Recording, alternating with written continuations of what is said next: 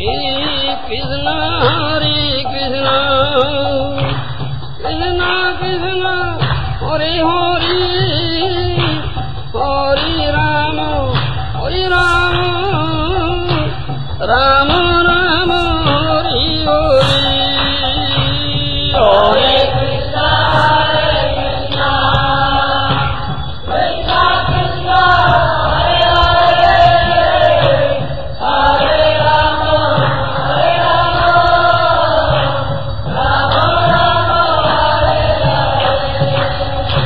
In England, Temple Jayashri Bhaktivedanta Manor, we have many, many people give class, different person every day.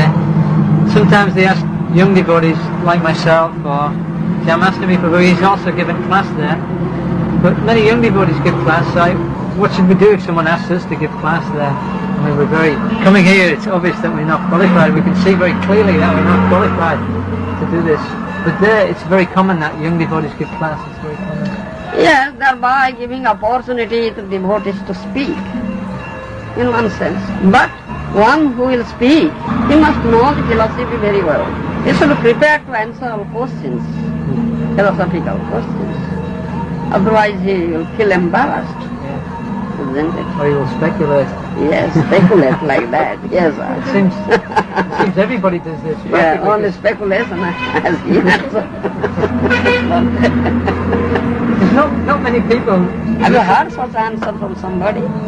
Uh, I think I confused the story with some other pastime. You must go to the authority, you must you not the acharya, what he has said, understand? Now sometimes that opportunity may be given, but he should speak to the devotee is there, not the public. Not the If, if, if, if some public person asks some question you cannot answer, what will happen? You see? Yeah. And you give some wrong answer, then how dangerous it is. It's very common though because not many people know the Shastra. And uh, it seems very few. Yeah. Hear all sorts of things. We hear so many different things. It's very. Sometimes the classes we hear are very disturbing for the mind. Sometimes because there's so much arguing. And, Well, not, not always, but You see, when that. Prabhupada was there, he was allowing his uh, disciples to speak, but Prabhupada was sitting there. And Prabhupada was guiding. So, if they commit some mistake, then and there Prabhupada corrected them. He was training, giving training. I have seen that thing. Once he asked me to speak in Bombay, in Hindi, you understand? I was just few days I was with him, just a few days. You see, He told me, Gour Govinda, you speak in Hindi. You understand? So I spoke what I have heard. and he appreciated very much. Anyhow, just give opportunity, just go. The spiritual master mercy. Let we do. Some other devotee let him speak in evening class, Gita class.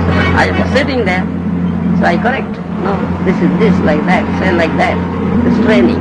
So it should be like that, say, when somebody gives class, for example, in England, Mm. and a senior devotee Ah, should be there. Should be there. Yes, should be there. That's the process. Sometimes we see nowadays it's quite uh, fashionable or quite a common practice when they discuss, debate some point or issue, philosophical or could be anything. They quote these new letters which have just been published and not so much the scriptures that's Yes. and when you argue, but this is, these are letters, although they are Prabhupada's letters, but you cannot really quote them in every instance. So they say you are, uh, You see, what Prabhupada has written in the letters, is it uh, uh, something different from Shastric injunctions? Prabhupada must say from Shastra. It is based on Shastric injunction. That is Sadhu. Sadhu says from Shastra. Sadhu never says something from his mind, concocting something or manufacturing something. He must quote previous authority and Shastra. So Prabhupada, while Prabhupada will say something new, which is not in Shastra, or previous authorities have not said. That is not. You may quote Prabhupada's letters, but you must uh, understand it, hmm. understand the purpose. Not, I, I say we have two types of considerations. Hmm. One is apparent consideration and another is absolute consideration. Hmm. Apat vichar, tattva vichar. But Ours is a absolute consideration, not apparent. If you make apparent consideration, then you are committing mistake. It must base on tattva.